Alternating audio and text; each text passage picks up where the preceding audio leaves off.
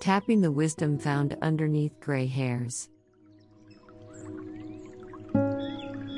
Hello, and welcome to another edition of the Manna to Live By. One day at a time. Five minute devotionals. Today is April 28th. Today's reading is from Proverbs chapter 4, verse 1. Hear, my children, the instruction of a father, and give attention to know understanding.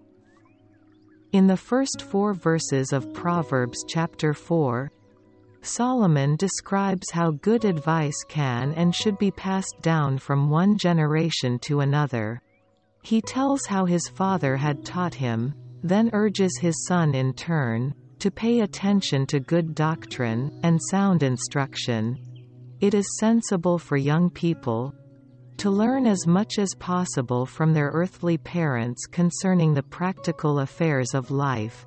But it is also true that in the spiritual sphere, every young Christian should have a spiritual mentor, that is, someone to whom he can go with his questions, someone in whom he can confide, someone who will share from a rich store of experience, and someone who will be candid in dealing with areas of need.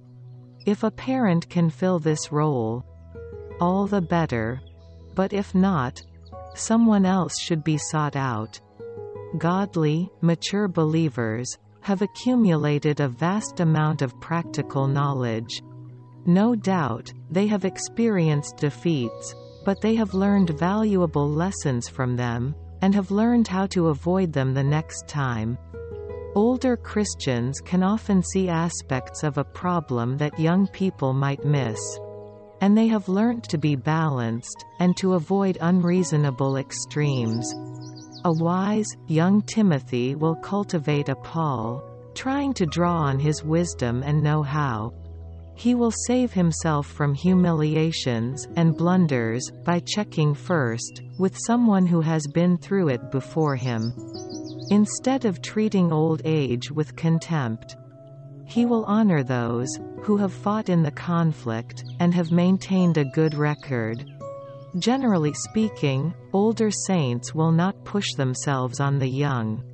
They know that no advice is as unwelcome as advice that is unsolicited. But, when asked, they are always glad to share insights that have been of help to them along the way. So, whether a young person is having a struggle with lust, or wants to know how to find God's guidance, or seeks to raise a family for the Lord, or wonders if God is calling him to the mission field, or needs help in managing his finances, or longs for a more effective prayer life, he would be wise to seek the help of a spiritual guide who can bring the light of Scripture to shine on the particular problem. Underneath those gray hairs, there is often a fund of wisdom to be tapped. Why learn the hard way when you can profit from the insights and past experience of others? Let us pray. Heavenly Father, we thank you for our parents, as well as spiritual guides, whom you have provided in our life, and for our spiritual edification. Help us, Lord, to appreciate your provisions, and be good stewards to pass on the knowledge to others. In Jesus' name I pray. Amen. Thank you. Today's devotional, originally written by William MacDonald.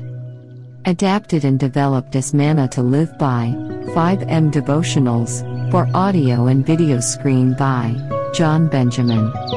bengrace at gmail.com. For previous day's devotionals, please click the channel link given in the description box below. To God be the glory. Tapping the wisdom found underneath gray hairs.